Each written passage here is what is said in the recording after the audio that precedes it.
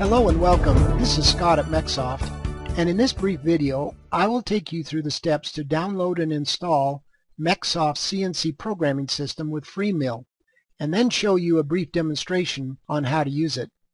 As the name suggests, FreeMill is completely free and without usage restriction, meaning there is no cost, no time limit, no license, no file output size limit, so you can use it as long as you would like to program your CNC machine.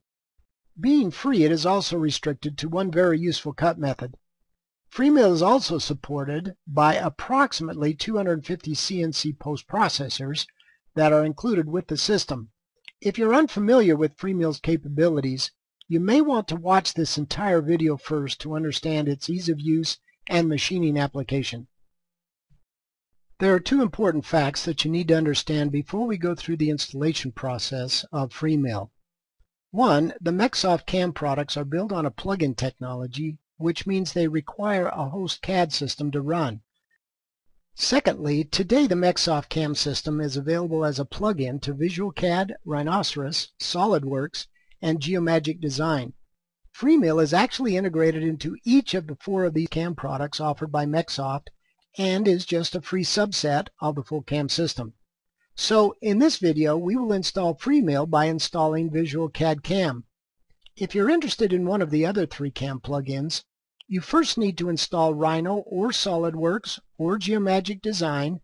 Then you can install and evaluate the appropriate MecSoft CAM plugin and use FreeMill there. So let's get started. To download and install FreeMill, go to the MecSoft website, mecsoft.com, then select the Downloads button on the menu bar, then select Download Demos. On this next page, please enter your name and other requested information, including your product of interest. We want this so we can call you after the installation and see how it went and if you have any questions about the product. When you select the Submit button, MecSoft will automatically return an email with a link that allows you to download the CAM product, which includes FreeMill. You should receive this email within 15 to 30 minutes. The link will take you to the Download Demo Products page. Here you need to choose which one of the four MecSoft CAM products you wish to download and install, and they're listed on the left here. There are two things to keep in mind. One is that all four of these CAM products include FreeMill. And second, options 2, 3, and 4 require that you install a third-party CAD system prior to installing the MecSoft CAM system. We've added FreeMill to the bottom of the list, primarily for those people who are looking for the product FreeMill by name.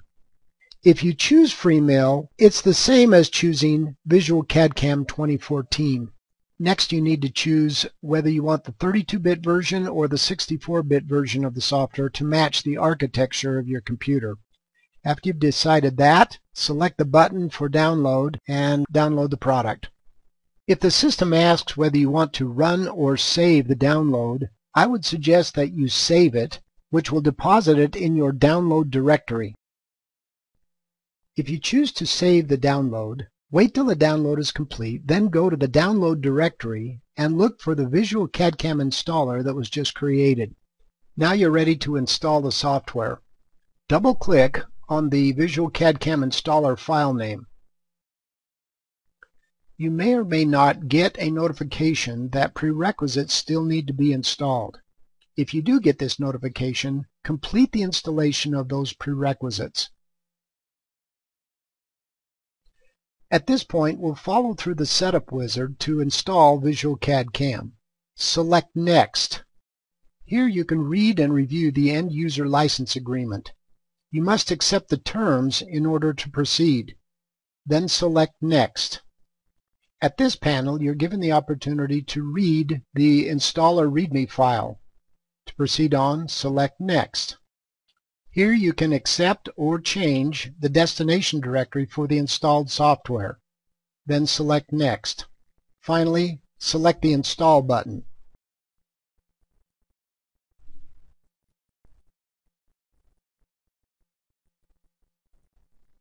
At this panel, select the Finish button to complete the software installation. A single Visual CAD CAM icon will be placed on your desktop. To run Freemill, double-click on the MecSoft icon on your desktop. This panel explains that Visual VisualCam did not detect a licensed security key plugged into your system. This means that you will have access to all the other MecSoft CAM products for your evaluation, but that they will run in demo mode and will be restricted. It also explains that you can run Freemill, which will be unrestricted and will allow you to generate toolpaths and post-process them to run your CNC machine in the shop. Select OK to proceed. This panel shows all of the MecSoft CAM products that you will have access to, but we want Freemill, so select that and then select OK. First, the help file comes up, which you can minimize and refer to later and then Visual Cam with Freemill comes up. So right now, let me give you a brief demonstration of Freemill and its capabilities so you'll know how it works. The first thing that I need is uh, a part model or some geometry to machine. Now you can create that geometry right here in your host CAD system. But for this demonstration, I'd like to import a model that has already been created and saved in the step format. To do this, I go to File, Open, select that step file, and the system will read the step file through the translator and bring that model into my current Visual CAD system. With the part model loaded, I'll choose VisualCam or RhinoCam as the case may be on the top menu bar, and then Freemill on the pull-down. And the Freemill wizard comes up on the left of your screen. The wizard is designed as a series of simple steps that will walk you through the process of creating a machining operation, then generating a toolpath, simulating that toolpath, and then post-processing that to create a file that will go out on your machine to cut the part. Alright, in the first step of the wizard, I need to define the axis or orientation of the cutter while cutting the part. One way to do that is to align it with one of the principal axes of the world coordinate system. The world coordinate system is a fixed, immovable coordinate system that exists in the 3D part space, and you can see it in each of the views on the screen. But the world coordinate system is for reference only. It does not directly control the output of the tool path. For illustration purposes, if I were to pick one of the other options, you will clearly see another coordinate system that exists and this coordinate system does directly control the output of the toolpath and is called the machine coordinate system. The goal then of this step in the wizard is not only to align the z-axis of the machine coordinate system with the spindle of the machine, but also to orient the x and y axis parallel to the axis of the machine tool. This part will be mounted on the table of a vertical spindle three-axis mill. That means that I want the z-axis of the machine coordinate system straight up towards the spindle of the machine, the x-axis towards the right, and the y-axis towards the back, which happens to be the same as the world z. This is then the correct orientation for the machine coordinate system for my part and this setup. The next step in the wizard is to define the stock material or the workpiece that the part will be made from. The system scans the part geometry on the screen and creates a minimum box that it uses as the stock material. And you can see the size here. Down below, you can enter values if you wish to enlarge or grow that box, but you cannot put in values that will reduce the box smaller than the geometry of the part.